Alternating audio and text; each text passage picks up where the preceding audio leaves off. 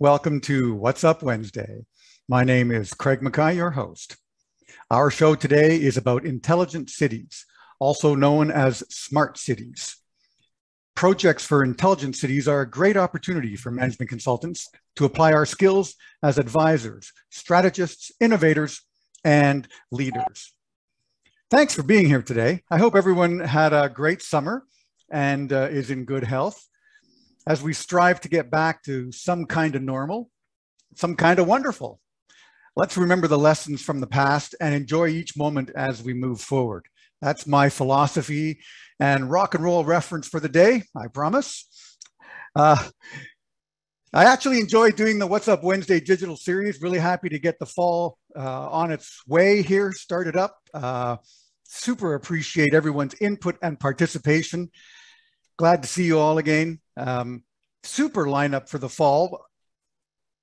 In October, changes in change management with Louise Harris and Dawn Marie Turner, a couple of members across Canada.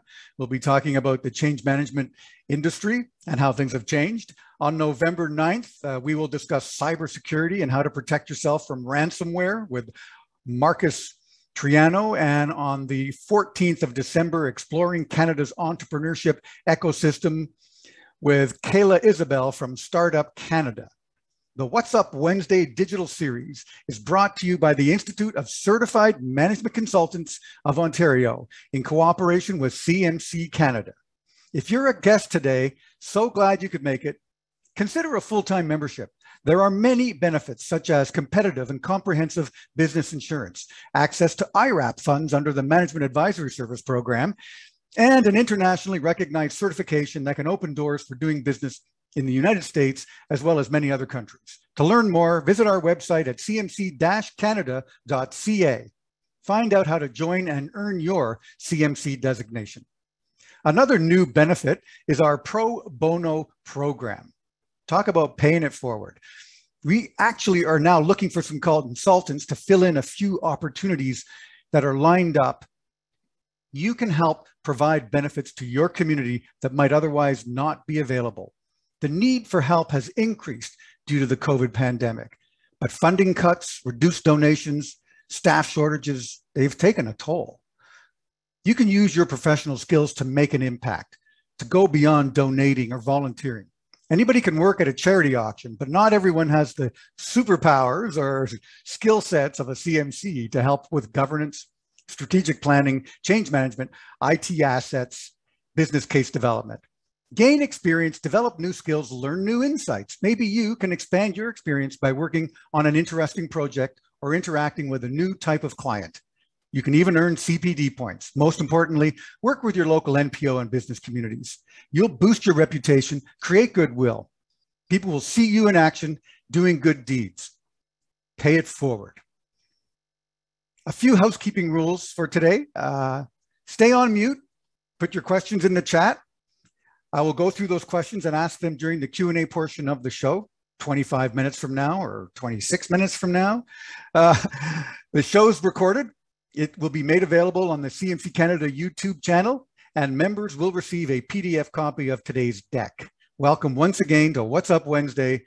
I'm your host, Craig Mackay. Thanks for being here. I'd like to acknowledge the lands of the Indigenous people today. Here in Ottawa, where I am located, I acknowledge the Algonquin people and Algonquin lands and our gratitude for the beautiful outdoors. Our guest speaker in Toronto wishes to acknowledge the traditional territory of many nations, including Mississaugas of the Credit, the Anishinaabe, the Chippewa, the Haudenosaunee, and the Wendat peoples. Cities across Canada and globally are in urgent need of solutions to make them more efficient and to bring in new revenue streams. To solve problems related to climate change, hopelessness and homelessness, safer roads, safer neighborhoods, more efficient public transportation, and many other areas just waiting for a new idea. There are all sorts of funding sources out there to help accomplish these goals. Our guest speaker, Natasha Apollonova, will present two case studies on intelligent cities to demonstrate the mechanisms at play in this strategic area for business opportunity. Natasha is a management consultant, PMP, policy, and government relations expert. She has held senior policy and advocacy roles with the Toronto Board of Trade. Natasha has held consulting roles in economic development, market intelligence, and enterprise risk planning at BDO, IHS Markit, TD Bank, Deloitte, and TechNation. Natasha's current role is a co-founder of a boutique management consulting firm, Sigma Helix. Natasha holds a master's in arts in business economics from Wilfrid Laurier University. She's also a certified economic developer with the Economic Development Association of Canada. Welcome, Natasha. It's great to see you again. Thank you very much, Craig. Uh, it's a great pleasure to be here today and uh, to speak to the audience on the topic of intelligent cities, of course, otherwise known as smart cities, and really present uh, to you some ideas in terms of how we can all together navigate new opportunity in the uh, post-COVID-19 uh, world.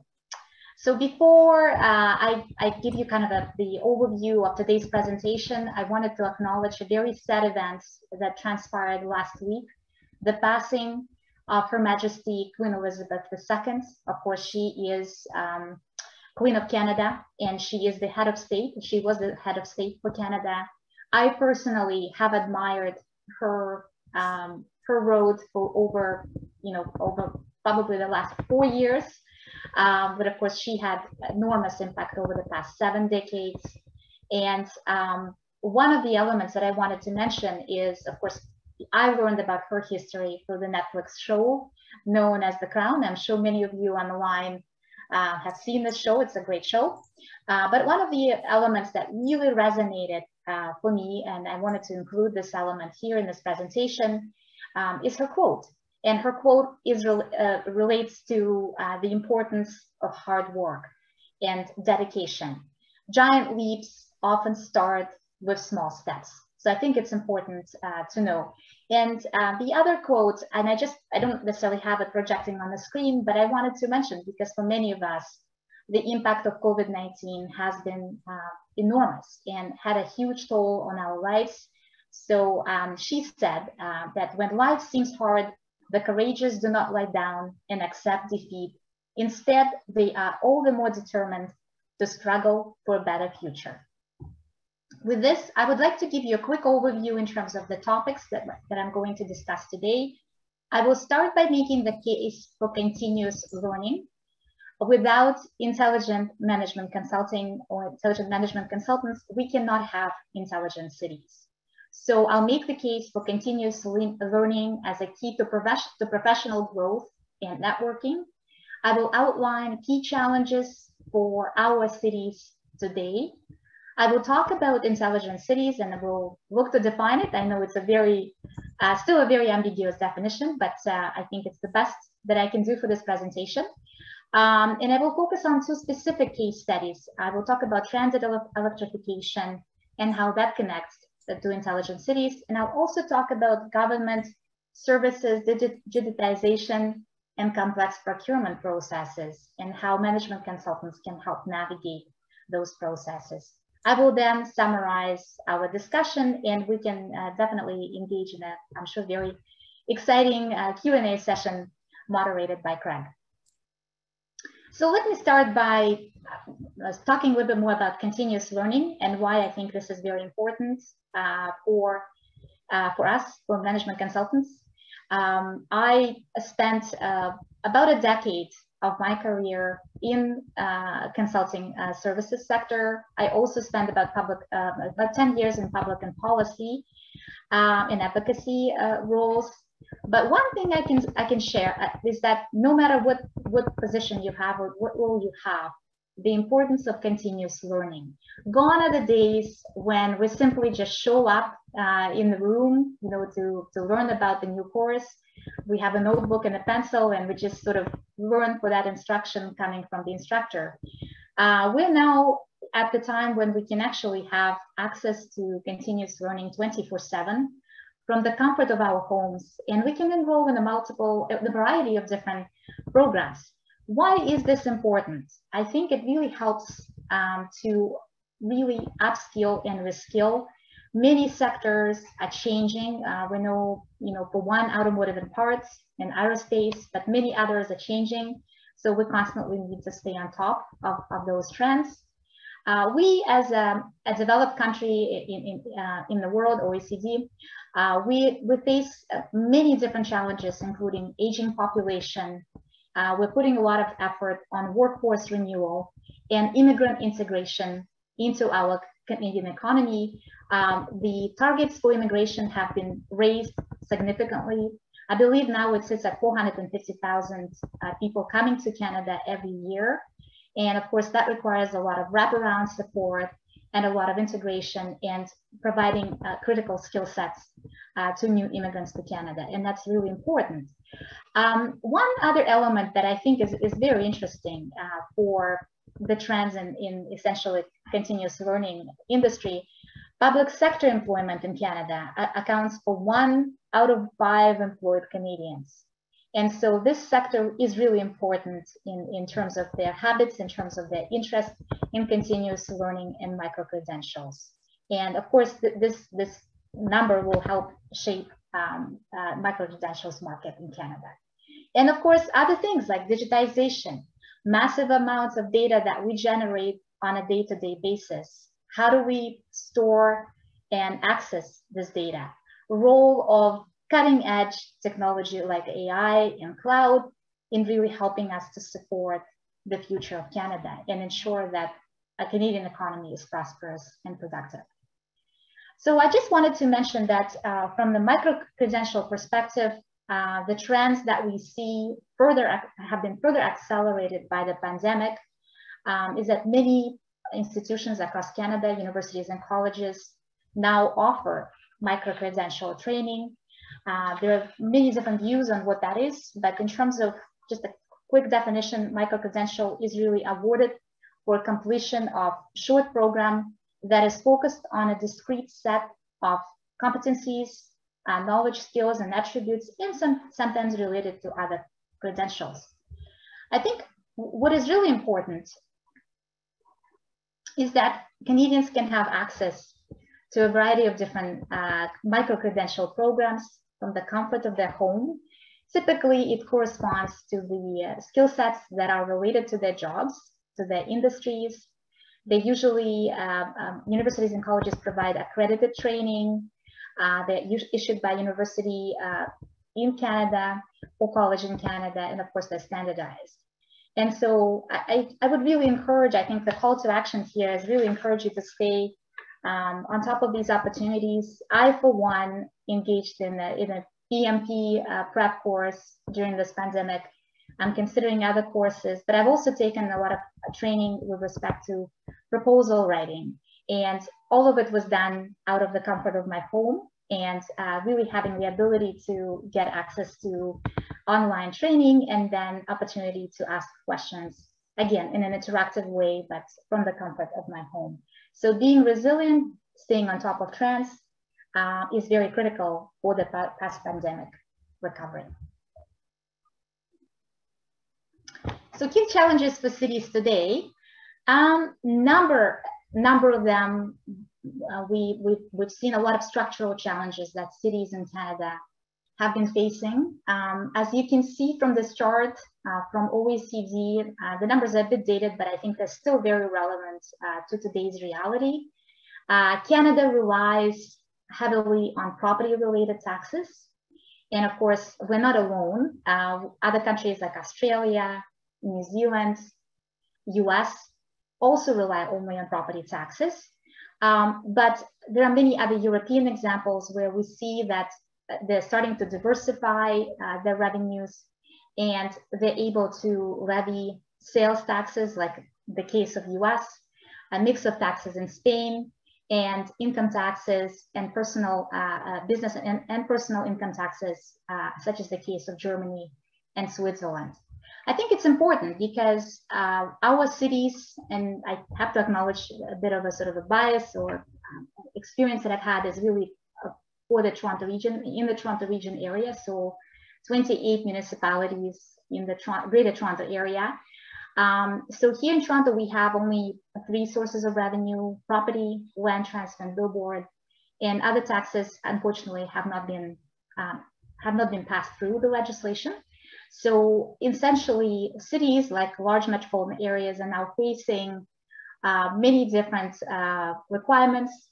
For example, they are responsible for the state of good repairs for transit and social housing and many different social services. But their property, uh, sorry, their revenue um, opportunities are fairly limited. And of course, if we combine it uh, with uh, the post-pandemic uh, situation related to the fact that um, we're not able to quite get back to where we were before the pandemic uh, with respect to the user fees, like transit fees or parking fees, uh, that further complicates uh, the matter. At the same time, because of our rapidly growing population, and I have to be very careful here because, of course, rapidly growing population is, is a good uh, story Canada-wide. We, we have to grow population because of, uh, of our demographic and aging, aging demographic situation. But at the same time, many new immigrants actually end up settling in large metropolitan areas like Vancouver, Montreal, Toronto, and Calgary. And that creates a lot of pressures on the city governments to continue to provide more services and to expand transit and keep the state of good repair bill in, in good condition. And here I just included a number. I, I think it's it's a probably we're probably lowballing here, 23 billion for the state of good repair in Toronto, uh, about 50 billion for all Ontario municipalities. So that just gives you a sense that beyond uh, opportunities to generate revenue uh, and, uh, and, responsibilities to, to really having to pay for growing population and growing needs, we're also facing massive um, investment opportunities in, in state of good repair and new uh, infrastructure. This is just a quick chart to showcase, I mean, the data is, here's a little bit dated. This is as of April 2022. Um, so this is this data is for Toronto Census metropolitan area. We're looking basically at a number of different uh, districts in the city of in, in the Toronto Census metropolitan area. What we see here that relative to where we were before the pandemic, we still haven't quite recovered to that level. In fact, if you're looking at the financial district, uh, the volume of visitors is significantly below where we were in February of 2022. In respect to spending, again, patterns are pretty similar, um, not quite back uh, to where we were before the pandemic. So of course, that what that means is that not only are we facing rising pressures to provide uh, services to our citizens uh, by municipal government, we're also not able to generate user uh, fees um, and this is essentially replenish user fees that we were able to basically get before the pre-pandemic. Um, all of this is important, this, this context is very important because that really makes uh, a good solid business case for intelligent or smart cities that attempt to use information and communication technology to improve operational efficiency, share information with public, and provide a better quality of government and citizen services. And of course, I think the other very important element, and I spent a lot of time debating this definition when I was at the, at the Toronto Region Board of Trade, um, intelligent and smart cities, they really have to tackle key public policy issues, such as, you know, poverty, I think Craig mentioned this, homelessness, but for the purpose of this presentation, I will just focus on two specific uh, case studies. Um, and I just wanted to make sure that this is not all inclusive. This is more of um, based on my experience of what I've done when I was working uh, for the Chamber of Commerce and when I was working in consulting. These are the types of examples that I came across. And so those examples are related to transit electrification. As I mentioned, I'll define it in a, in a few moments, and government services digitization and com complex procurement processes. So just to quickly summarize, summarize the context for the next uh, few slides is that we are facing pressures, fiscal pressures on our cities. Uh, cities need to deliver better services uh, for Canadians. And at the same time, they have very limited uh, revenue potential to be able to pay uh, for those uh, services, let alone state of good repair capital expansion, and social housing. On every $1 that is being generated in sales taxes uh, from Canadians today, only 10 cents actually end up going to our government. So that's, that's the size of the problem. Intelligent City, I believe, is one of the solutions.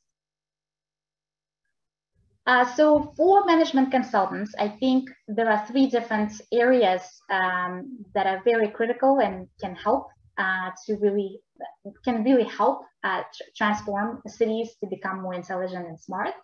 And those three areas that I have identified, they are related to strategy and stakeholder engagement. That's area number one. Area number two is related to business case analysis. And again, I'll explain it later through my case studies but that continuous uh, opportunity to make uh, a really solid business case uh, analysis and need to, to showcase that the government or the private sector can really support with an investment and be able to generate uh, a return. And support with funding applications. What we see right now across Canada, there are multiple sources of funding available at provincial, federal, and municipal uh, levels of government and management consultants can really help navigate those opportunities uh, by supporting clients, whether they are cities or you know other sort of private sector groups, but they can really help support with, with funding applications and uh, finding those opportunities uh, through public procurement um, uh, websites. So Sandra, I think at this point we wanted to also make sure that we have an opportunity to engage with the audience, uh, we wanted to ask you uh, to provide a quick, uh, quick response um, to this question. Uh, we're trying to understand your level of involvement with intelligent cities and innovation projects uh, in Canada and also in, um, uh, sorry, in, in Canada. Um, so if you could please respond, that would be great just so that we know, or, you know, the audience um, how is the audience faring today? Um, so interestingly, um, we see that uh, majority of our participants today, uh, essentially two thirds, are not uh, currently involved uh, in, in intelligent cities. And this is why we, we have this presentation. This is why we're making the case that this is something that uh, is um, is happening right now. And um, it's really critical that um, management consultants are able to stay on top of these trends. And there are many different opportunities to assist um, municipalities for one, but also other uh, levels of government uh, in areas that I outline on this slide. Okay, so for transit electrification, um, I think what, uh, some of you may be surprised that in Canada, uh, we we have very we have set very ambitious climate change objectives. And uh, we uh, all i think even at, a, at an individual level we're very conscious about the impact of environments on on our economy on our day-to-day lives. And what we do know from the data i think it's available from statistics canada is that public transit and personal uh, car transit uh, and freight uh, transit accounts for nearly one third of greenhouse gas emissions. And so if we're really serious about impacting climate change in a, in a positive way, one opportunity that we should be exploring and uh, across municipalities, across all of Canada, across all of provinces and territories is electrifying our transit. And um, one interesting ob observation, I've done uh, several case studies, uh, business case uh, studies for transit agencies in Alberta and Ontario. And I was very surprised uh, to see that uh, we, we still run diesel trains. You know, we still have diesel buses. Uh, and so, you know, it, it's not necessarily only Canada, Canada not alone in, in that problem. I think there are many other cities in the US primarily, but also in, um, in Asia, where they just still are relying on diesel as the source of, of energy. Europe, of course, is, is uh, very much ahead, but still is in the process of transition. Um, so I, I just wanted to kind of highlight the fact that yes, the it seems to most of us on this call that the economic case uh, for electrification of public transit or personal transit is there. Uh, but then yet we are nowhere near where we should be by now and many different pilot project opportunities are taking place across Canada. But the size of the matter is that, uh, you know, out of 15,000 buses in Canada, we only have about 160 that are currently electric. By 2025, uh, we need to be at 33% of our uh, buses should become electric. And by 2030, about one out of two should become electric. Um, so it's, it's, it's a very big opportunity. Um, I think it's also uh, not only to make sure that we can help municipalities uh, hit the environmental objectives, but it's also a personal uh, opportunity to have, you know, influence and to have social impact uh, out of your work. Um, something I wanted to just kind of throw here just to say like, look, this isn't Canada alone problem.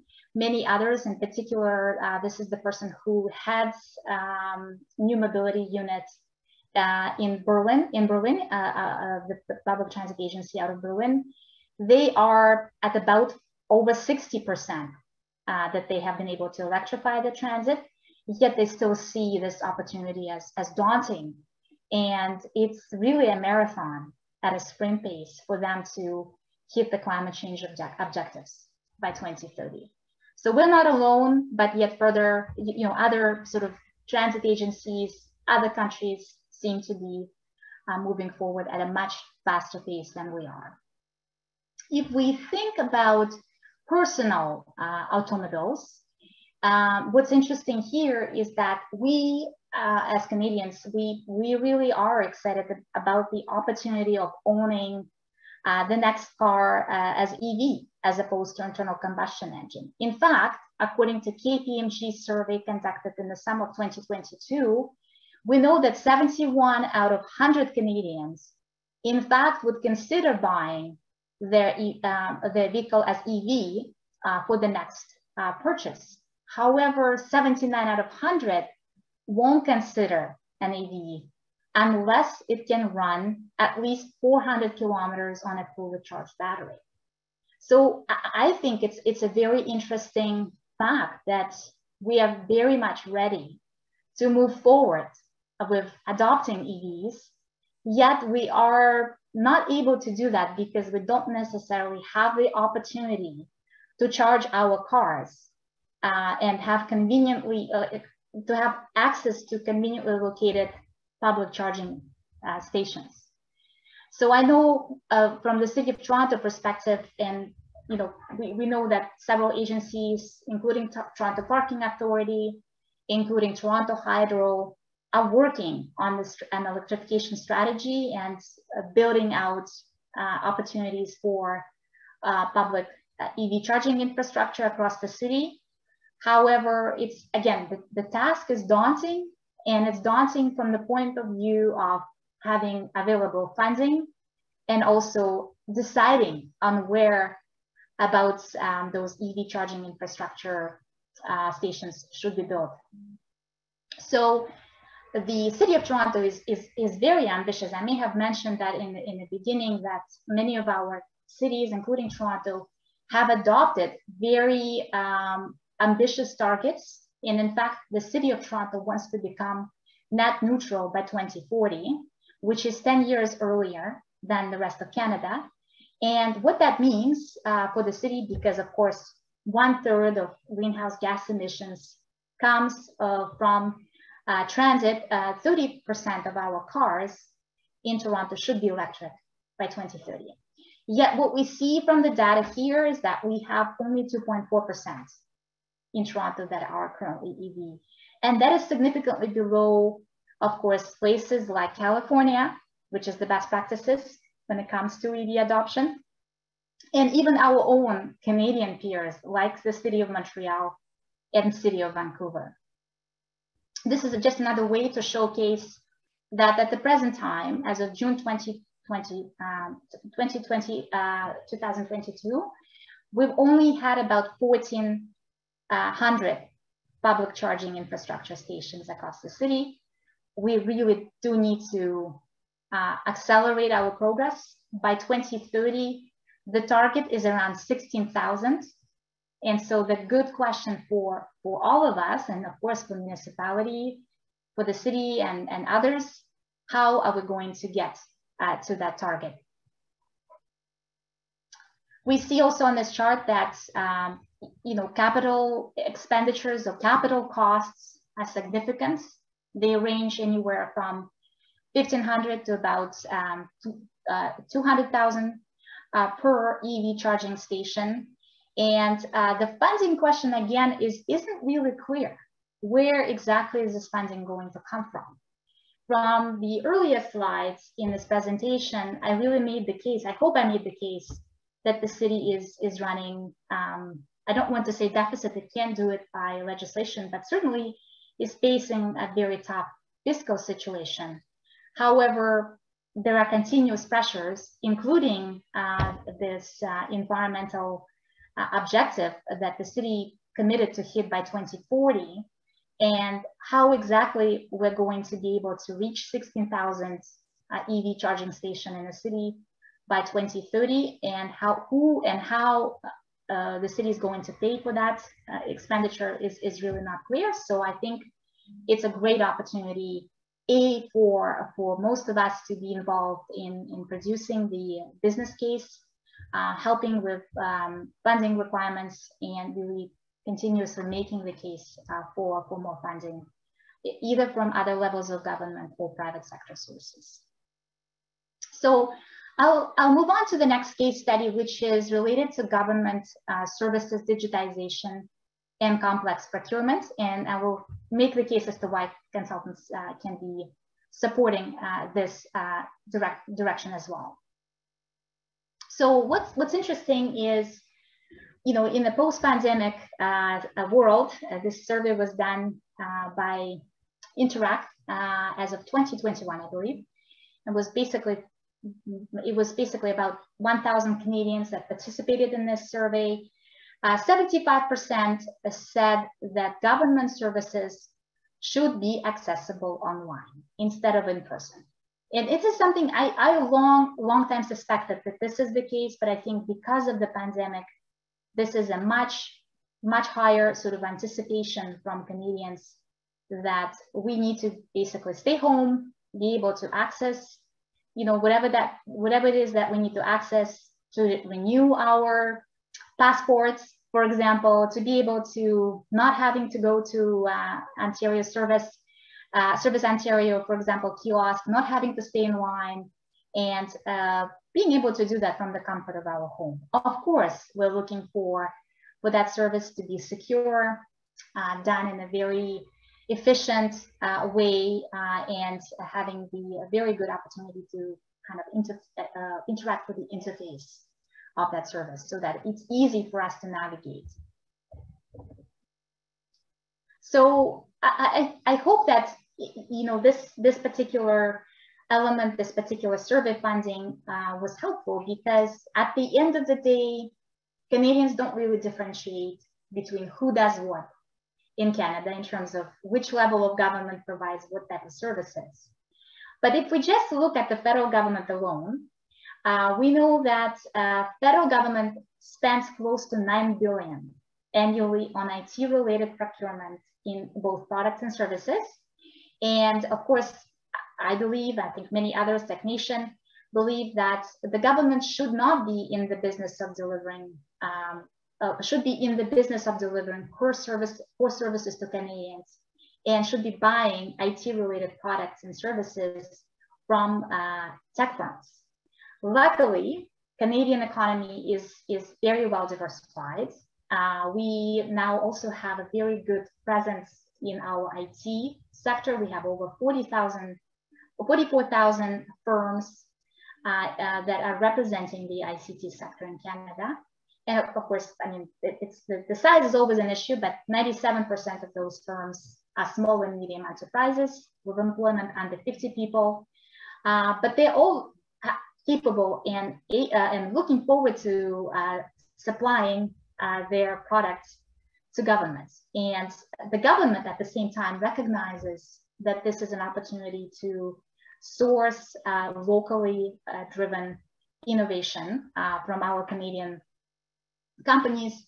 And they're reforming their procurement processes in terms of allowing for diversification uh, of who is exactly procuring those services to them. So they're looking to include micro businesses and minority-led businesses in the procurement mix. Um, they're also adjusting uh, their uh, uh procurement processes to include more agility in that process, more feedback, uh, working with the, with the consulting industry much more closely, in terms of defining the requirements, in terms of getting to the opportunity where they can get a really good sense of, um, you know, the capability of the consultants to deliver a particular product or service.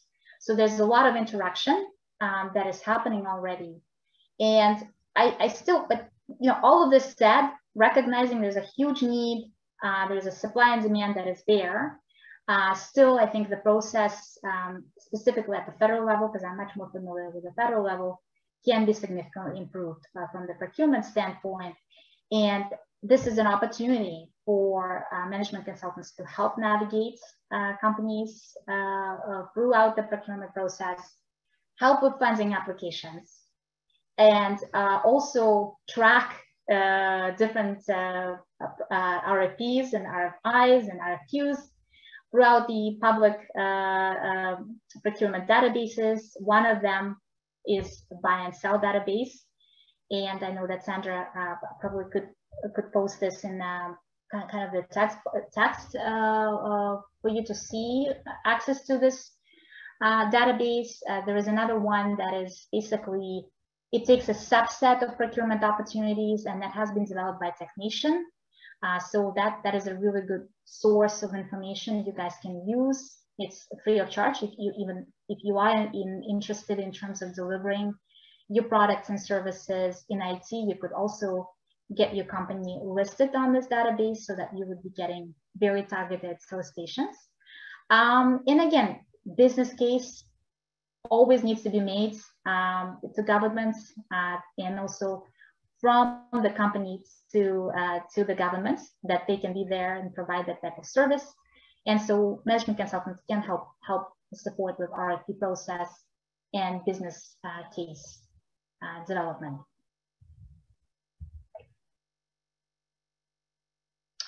So I certainly don't want to, you know, I don't want to sound like a procurement specialist. I'm not.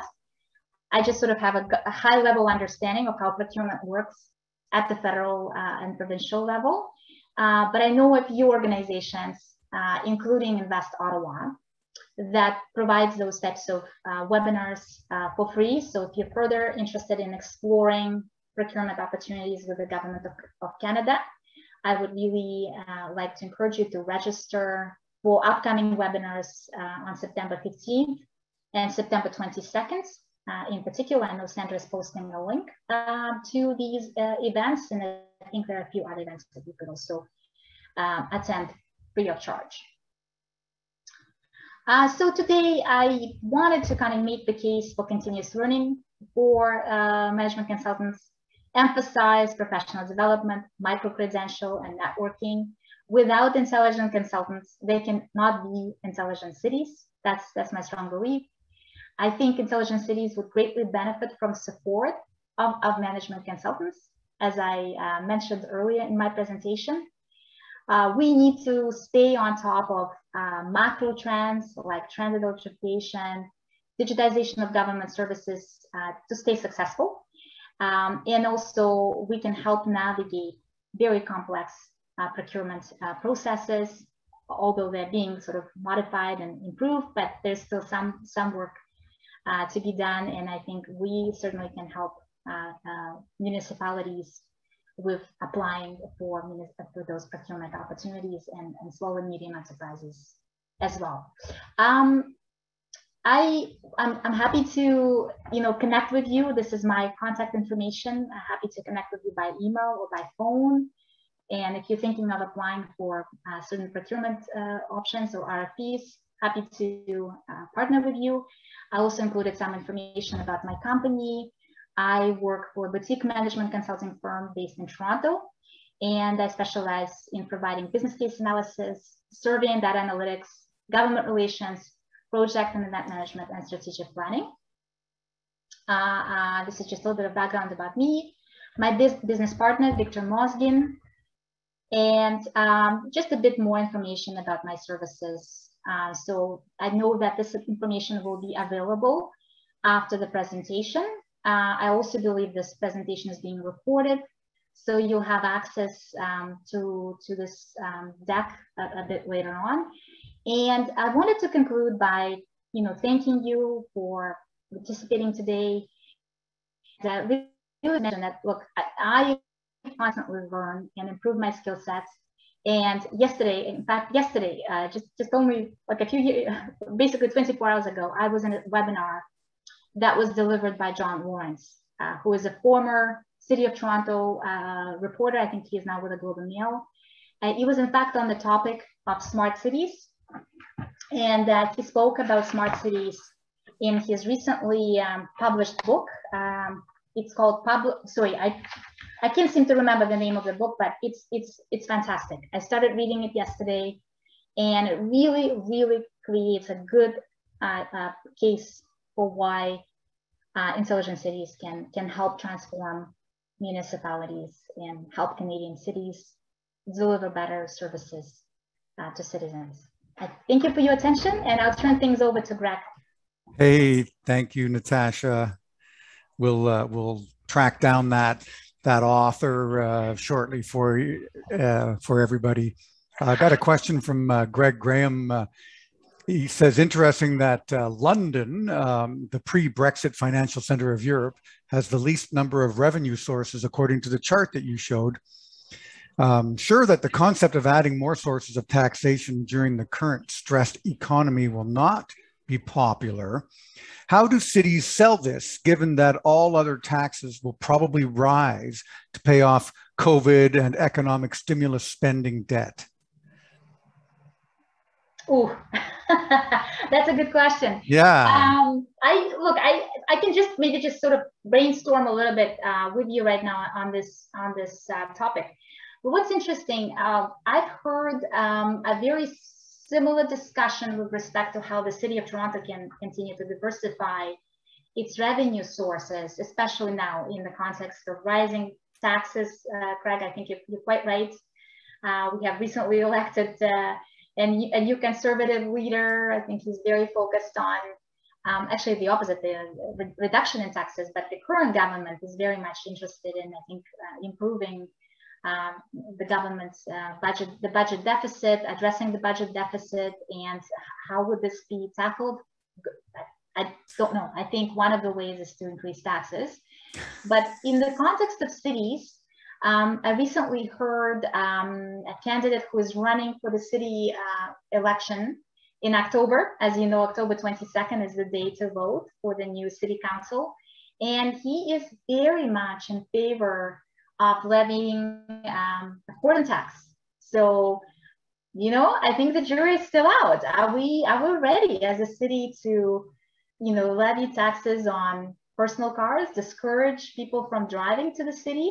or certain areas of it. I don't know exactly how it's going to work. I don't think he went into details on that, but it's apparently it's gaining momentum. This is an idea that was uh, discussed. Um, I think it was a global news reporter that was meeting with this candidate, and uh, I think the jury is still out on that one.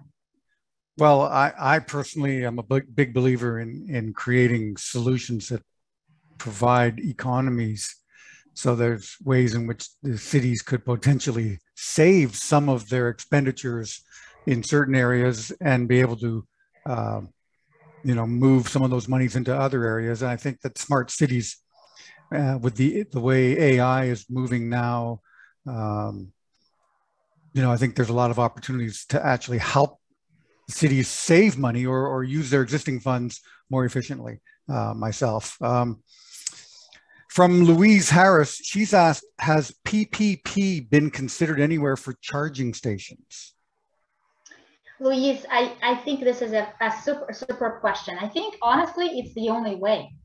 It's the only way that there has to be some sort of a way to um, to get into those agreements, you know, with maybe financial institutions, maybe with credit unions, and basically agree on those terms because the, the city alone or the, the, Toronto Parking Authority alone, unfortunately, is not in a position uh, to pay uh, for that massive expansion of electrification infrastructure, sorry, um, charging infrastructure in the city. So it, I think the only the only way it could work is through the public-private partnership uh, with the private sector. Right, and Albert um, Floatman uh, has, you know, just mentioned that the parallel issue of the changing role of local government in society, senior government downloading and growing citizen expectations are, are all affecting these budgets and senior government funding, uh, as you've mentioned, can be unreliable. Um, is there a guaranteed revenue stream from provincial funds? Uh, are some of the provinces sort of stepping up here? Yeah, Craig, I think it's, it's again, it's a good question. I think in the context of Ontario, uh, we recently went for a very interesting uh, case study with, with respect to uh, the province actually uploading responsibilities uh, to itself for paying for four new uh, transit uh, related expansion projects. Right. But the, I mean, again, this is okay. Capital expenditures, that's great. That's that's a lot of money, and, and you know the senior level of government is stepping up. But the maintenance and operations, it is still residing mainly with the city. That's municipal government that is responsible for that state of uh, state of good repair that I talked about in, in one of the earlier slides. So yes, I mean part of part of I think you could you could argue that in some areas the government made it a lot easier for the city to be able to to at least not having to pay for the new um, uh, transit infrastructure, but then operating and maintenance expenditures still very much for the city. Now, it's, it's my understanding Ontario Center of Innovation uh, centered in Toronto has a budget of $360 million uh, for projects that people can propose to them. Here in Ottawa, you mentioned Invest Ottawa. They have the Bayview Yards. It's a hub in a lot of uh, cities across Canada, uh, large cities across Canada, with the help of the provincial governments um, and probably federal money as well, um, have uh, innovation hubs. You'll see them uh, sometimes affiliated with the universities Canadian Innovation Center, for example, um, out east in British Columbia, has a small business accelerator program at UBC. So there are all kinds of areas, um, Albert, um, and whoever else has been looking, you know, for that question. Um, all kinds of areas where they've got money put aside and they're waiting, and they are waiting for proposals. So, you know, if you have some ideas, if your clients work in areas where some of these ideas um, could apply to them, I think that's where you get engaged as a management consultant and you start connecting the dots. And um, I think it's going to, I think there's lots of opportunity there. Um, Craig, and I also wanted to jump in. I think it was um, previously called Supercluster Initiative at the federal level. And of course, what's interesting is that I buy in into a lot of criticism. I, you know, on the other, on one hand, on the other hand, I also understand. Look, it's it's an ambitious program it takes a lot of time to set it up. So you can't expect, you know, very quick results and, and very quick ROI. But one of the key challenges, and I think the Logic magazine covered it really, really well, is that it isn't really the, the funding that is the problem. It's really the flow of funding. To your earlier point, look, they haven't flown all of those funds uh, to municipalities or to private sector the way that they were expected to do that. Why? Because they set up very complicated uh, procurement processes, oh, yeah. a lot of red tape. I'm sure most of you can relate to, to that statement is like red tape upon red tape upon red tape, procurement, traditional waterfall that doesn't necessarily work um, you know, for, for most of us, just because we are then expected to set aside, you know, minimum of one week of, uh, you know, time to basically be able to respond to RFP, and it's not a guaranteed uh, opportunity. So oh, a lot of time is being wasted. I think. Well, oh yeah, but again, it's an opportunity for for those who can work through that paperwork to help uh, get to the exactly. end. Hey, a good question here. Um, we had talked earlier, you and I, about uh, Google and their their data that's available. So, what about the legacy of their Sidewalk Lab project that was canceled in 2020? How has that impacted uh, intelligent cities? Um, Craig, it's a great question, and I unfortunately I think I have to declare my bias because I was at the Board of Trade uh, promoting uh, the, you know basically this project uh, from an economic development lens and uh, we we have done tons of work in terms of understanding the public opinion. And the reality of what we found uh, we've done this work in, in collaboration um, with um, uh, one of the polling companies. And what we found is that canadians are not opposed to these types of projects. It's really the um, the proof is in the pudding. Essentially, they were looking for the right conditions to be in place, for the data uh, to be protected, uh, having a really good sense of who is going to access and monetize this data, where exactly is it going to be stored, what type of relationship will, it, will there be between Sidewalk Labs and Google, um, and a lot of governance related discussion that wasn't just something that was addressed by the company. Um, and what was interesting is that you know the legislation, even at the federal level, with, with respect to privacy framework, um, hasn't really been updated for over, I think, two decades. So unfortunately, this, this project came to Toronto at a, probably too early. Probably not, we were not, you know, as a society quite ready uh, to get this project going because we didn't really have the proper framework in place for privacy. I think a lot of these questions were not necessarily answered by the company as to what their business model is going to be, and so a lot of engagement with the public. I was part of those uh, discussions, but unfortunately, the, the model wasn't really quite articulated. Uh, and of course, then the recession, sorry, the recession, the COVID-19 hit. And I think it was more of a pretense. Look, look, I, I think I give up because it's just way too complicated uh, to do anything in, in, in, in Canada. But I think the reality of it is that we've learned a lot of lessons I think we collectively, I think in Toronto, we certainly now know what we're looking for in our next opportunity. And I think when when the conditions are created with all of the rights um, elements in place around privacy, data access, data sharing, and what exactly is the problem that we're trying to solve, I think that will really help us uh, in terms of attracting the next the next project, big project to Toronto or any other city uh, in Canada. I mean, Montreal, Vancouver, Ottawa. Uh, it's just in, in, it's just incredible to see that that momentum with respect to intelligent and smart cities in me, those communities. To me, I think we have to, um, as as senior consultants or any kind of uh, advisors, uh, when we get involved in the discussions of uh, public data or data that can be made public. I think the open data concept is, is really something that we need to push.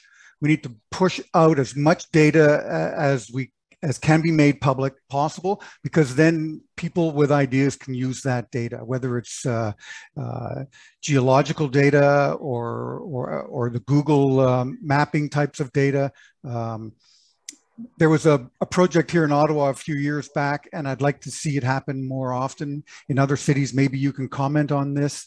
Um, they had kind of like a bake-off contest where software developers could would get engaged in presenting solutions using uh, the municipal data for garbage collection.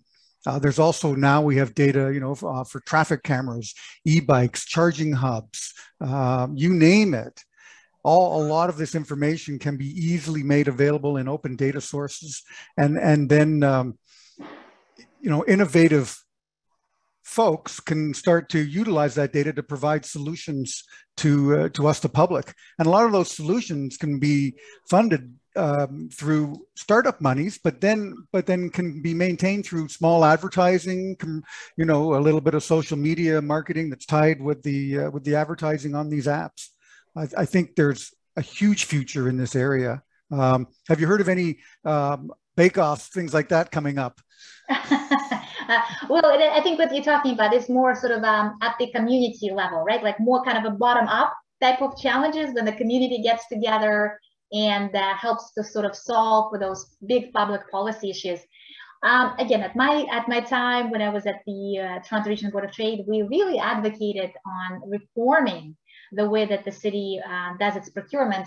And one of the key elements that we recommended, and I'm, I'm glad to see that that other cities like Edmonton and I think it was Calgary that have adopted those elements is related to startup in residence program. So basically, it's a municipal municipally run program where the city articulates key challenges uh, to the startup community or scale up community, and then basically procures an opportunity from a few firms to basically come in, uh, stay with the city for about the duration, I think is about six months, if I'm not mistaken, and really help solve this problem uh, by having access uh, to all of the city staff, having access to the city data. Craig, you mentioned that open data, but you know, if, if for some reason some data is not open, then they can be basically in, you know, working side by side with city officials and helping to define that issue. And I think it gained um, traction at some point across Canadian municipalities. I know the city of Guelph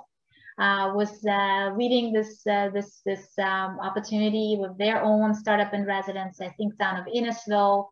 Uh, I mentioned town of Edmonton that actually formally adopted startup in residence program uh, and joined this network of, of cities in North America and Europe um, that they now are also able to sort of exchange ideas and uh, have opportunity to tap into those civic challenges articulated by the city staff and then join uh, as a team uh, to essentially help solve for those problems. And if, if the solution is successful, the city typically buys that service. So that that's I think it's an opportunity. I think it's it's good to see a lot of momentum, I think, right now, because there's so many challenges. Uh, but I think the, the, the, the, key kind of a message here is that the city itself needs to reform its own procurement uh, to allow for that type of experimentation, if you will.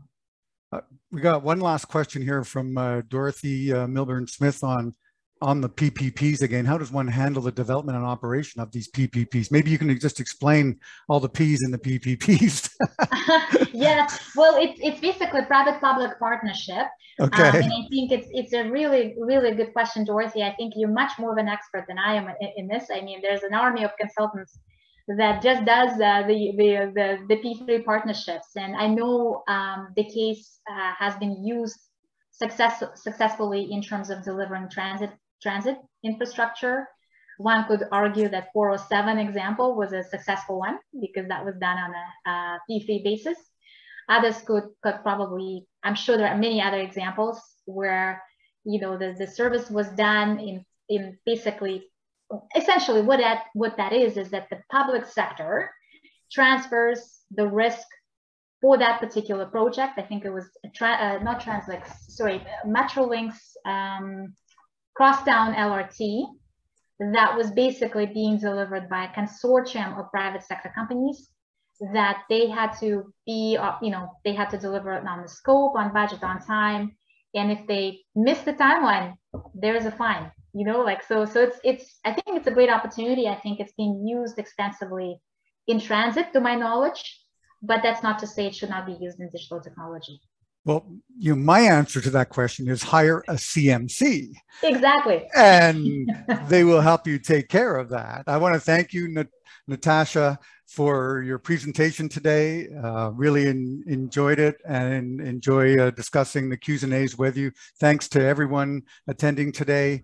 Um, Thank you also to our events coordinator here in CMC Ontario, Sandra Addison Brock. We're going to have to buy her a new operating system for her computer, apparently. Um, but then again, you know, that happens to everybody every now and then. Uh, but Sandra's always doing a great job in the background. Thank you. Uh, What's Up Wednesday is back next month. In fact, uh, every second Wednesday of the month, we have uh, three great shows lined up uh, one in October, one in November, and one in December. I think we have one more slide to show on those topics. Um, thank you. Uh, there we uh, there we go. And um, book your second Wednesday of the month, please, in your daytimer now. God bless the Queen. May she rest in peace. Have a great day, everyone. Cheers.